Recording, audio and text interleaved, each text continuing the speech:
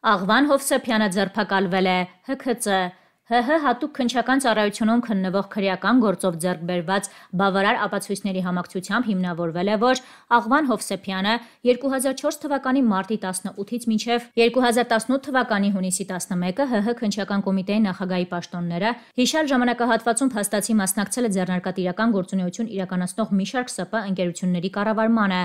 Բացի այդ ստացել է առանձնապես խոշոր չափերով 190 միլիոն ՀՀ դրամ կաշառք եւ խարդախության եղանակով կատարել առանձնապես խոշոր չափերով 800 միլիոն ՀՀ դրամ գումարի հափշտակություն։ Աղվան Հովսեփյանին մեղադրանք է առաջադրվել նաև հանցավոր ճանապարհով ստացված առանձնապես խոշոր չափերով ընդհանուր 1 միլիարդ 299 միլիոն 404 հազար 414 ՀՀ դրամ գույք փողերի լվացում օրինականացնելու համար։ Վերենշված հանցավոր արարքների կատարման համար Աղվան Հովսեփյանին մեղադրանք առաջադրվել ՀՀ քրեական օրենսգրքի 310-րդ հոդվածով, 311-րդ հոդվածի 4-րդ մասի 2-րդ կետով, 178-րդ հոդվածի 3-րդ մասի առաջին կետով եւ 190-րդ հոդվածի 3-րդ մասի առաջին կետով 3 դրվագ 0709-2021 թվականին Աղվան Հովսեփյանը ձերբակալվել է։ Քրեական գործի շահերից ելնելով առավել մանրամասն տեղեկատվություն լրացուցիչ կհրապարակվի նախաքննության ընթացքում։ Ծանուցում ենթադրյալ հանցանքի մեջ կասկածվողը կամ մեղադրվողը համարվում է անմեղ, քանի դեռ նրա մեղավորությունն ապացուցված չէ ՀՀ քրեական դատավարության օրենսգրքով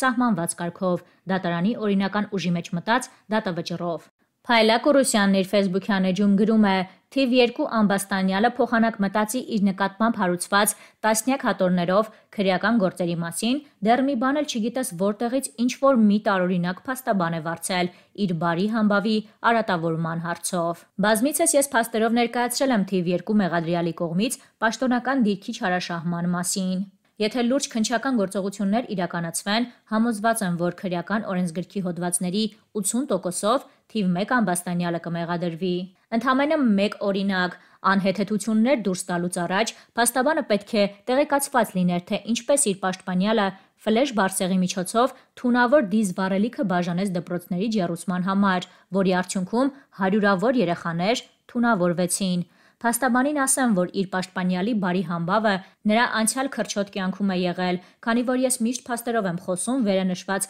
հանցագործության հետ կապված վկաներ էլ նշեմ՝ Աբ รา համյան Հովիկ, падգամավոր Մելքոնյան Գագիկ եւ այլն։ Առայժմ այսքանը, հա ու ասեմ նաեւ, որ չփորձեք ժողովրդին ահաբեկել։ Մենք ժողովուրդն է Տերը, մեր երկրի։ Կոմից դատական նիստերի դահլիճը լքելու վերաբերյալ բարձր բանումներ տալը ես ցանկանում եմ սկսել որոշակի հրետորական հարցադրումներով։ Առաջինը. Արգելի դատարան արդյոք Արմեն Գևորքյանը օրենքի հիման վրա ստեղծված օբյեկտիվ, անաչառ եւ անկողմնակալ դատարանի կողմից ունի իր գործի արդարացի քննության իրավունք։ Պատասխանը շատ ակնհայտ է։ Այո, ունի։ Երկրորդը, արդյոք պարոն Արմեն Գևորքյանը ունի պաշտպանության իրավունք ինչը բոլորս գիտենք, ենթադրում է դատավարական իրավունքների այնպիսի ամբողջություն, որը նա կարող է իրացնել ինչպես անձամբ, այնպես էլ փաստաբանի միջոցով։ Պատասխանը կրկին շատ ակնհայտ է։ Այո, ունի։ Այս ամենը գիտակցելով Արմեն Գևորգյանը դեռևս 2018 թվականի օգոստոս ամսից, երբ որ նրա նկատմամբ սկսվեց, այսպես ասած, այս խայտարակ քաղաքական հետապնդումը, նա որոշեց իր շահերը պաշտպանել փաստաբանի միջոցով եւ որպես իր շահերի պաշտպան նախընտրեց ինձ։ Հիմա օրենսդրության համաձայն ես այստեղ նրա համար եմ, որպիսի ներկայացնեմ եւ պաշտպանեմ Արմեն Գևորգյանի իրավունքները եւ օրինական շահերը։ Իսկ ըստ ձեզ, հարգելի դատարան, ես այստեղ ինչի համար եմ։ Դուք էլ շատ լավ գիտեք, որ ես այստեղ նրա համար եմ, որպիսի օրենքով չարգելված բոլոր միջոցներով պաշտպանեմ Արմեն Գևորգյանի իրավունքները եւ օրինական շահերը։ Եվ ես դա չեմ ասում հենց այնպես։ Դա բխում է ուղիղ քրեական դատավարության օրենսգրքի 65-րդ հոդվածից, որի դրույթներին դուք բոլորիցս շատ լավ տիրապետում եք։ Հիմա եթե դուք այդքանը հասկանում եք, այդ դրույթներին շատ լավ տիրապետում եք, ինչու եք դուք բոլոր հնարավոր միջոցներով, հարգելի դատարան, սահմանափակում իմ այդ հնարավորությունը,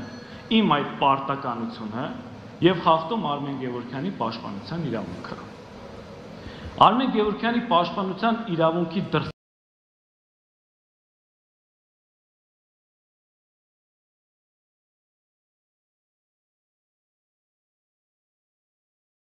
որումներից մեկը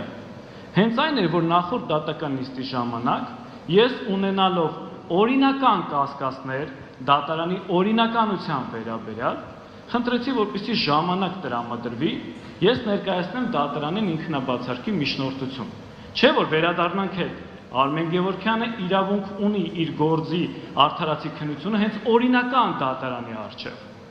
Սակայն ինչ արեցիք դուք։